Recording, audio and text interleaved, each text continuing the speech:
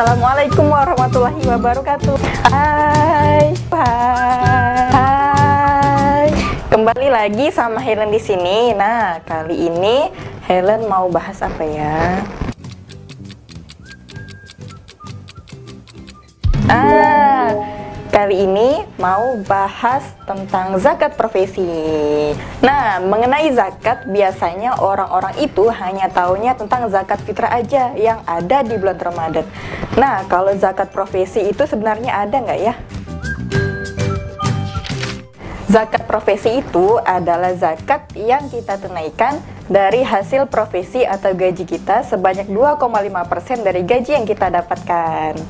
2,5% itu bisa dikeluarkan jika telah mencapai nishab yang telah ditentukan. Untuk zakat profesi, nishab yang telah ditentukan adalah setara dengan 653 kg hasil pertanian.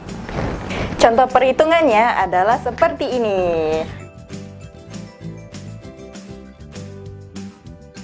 Kalau gajinya nggak cukup gimana? Berarti itu belum wajib dan bisa diganti menjadi infak atau sedekah. Yuk tunaikan zakatnya karena zakat itu mensucikan dan membersihkan rezeki kita. Insya Allah, Allah akan memberikan keberkahan pada rezeki yang kita zakatkan. Dengan zakat, harta bersih, hati suci.